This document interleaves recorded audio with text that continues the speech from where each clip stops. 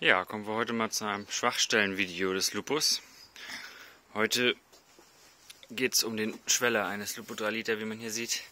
Ist er gut angerostet. Dieser Teil besteht eben aus Stahl beim 3 Liter und dieser hier ist ein Aluminiumkotflügel und dann kommt es eben genau auf diesem Stoß hier zu einer Kontaktkorrosion. Und wie man sieht, ist das schon ein bisschen länger. Und nun, heute wollte ich nun den Kotflügel, die Front auch abbauen und eben diese Stelle hier behandeln.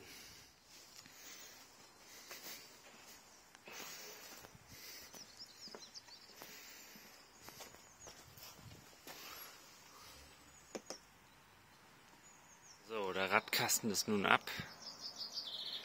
Und wie man hier sieht, hat sich allerhand Dreck hier unten verfangen. Die ganze Aufnahme hier, wo der Innenkotflügel verschraubt wird, was halt der Schweller hier ist, ist komplett weggegammelt. Die Front ist einmal sauber gemacht. Mir ist hier gerade so ein witziges Detail aufgefallen. Vielleicht weiß einer von euch das ja, was das hier ist.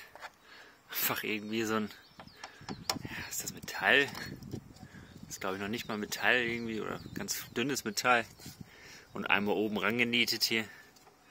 Aber was soll das hier? Was ist das?